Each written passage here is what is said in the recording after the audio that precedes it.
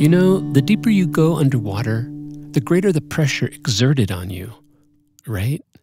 That's because when you go deeper, there's more weight of water pushing down from above. Look at these two connected wells. Where is the pressure greater? Right here, where it's deeper. As a result of the pressure difference, water flows. And soon the two wells are equally deep. So we say water seeks its own level. To keep the water flowing, you'd need to maintain the difference in pressure between the two sides, which you might do with a pump, like this. This relates to electricity. Recall earlier that when we divide the total electric potential energy by the total amount of electric charge, we get a ratio we call the electric potential. Electric potential plays a role similar to that of water pressure.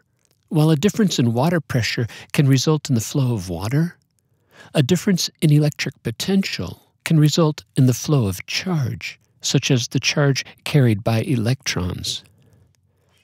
Here's a Van de Graaff generator with its dome charged to an electric potential of 5,000 volts.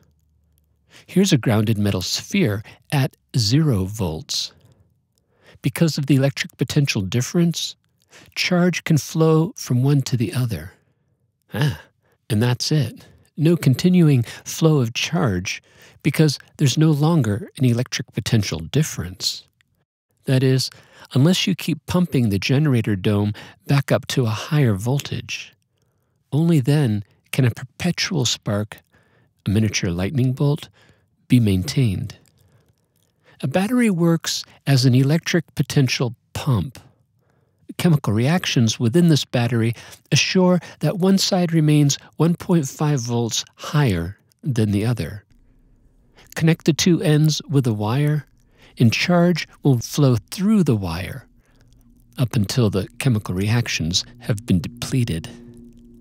When we say charge flows in a metal wire, we're talking about the movement of the metal's loose conducting electrons. But get this the speed at which those loose electrons travel down the wire is actually quite slow. They'll take about three hours to traverse a one meter distance. A snail can travel faster than that. The actual speed of electrons bouncing within the metal is in fact much greater, only a tiny component of the electron's velocity, however, is directed along the circuit. We refer to this as drift speed. What's really fast is the electric field, which moves at the speed of light. More on electric fields in another lesson. But as soon as you close a switch in an electric circuit, the battery sends an electric field instantaneously through all parts of the circuit.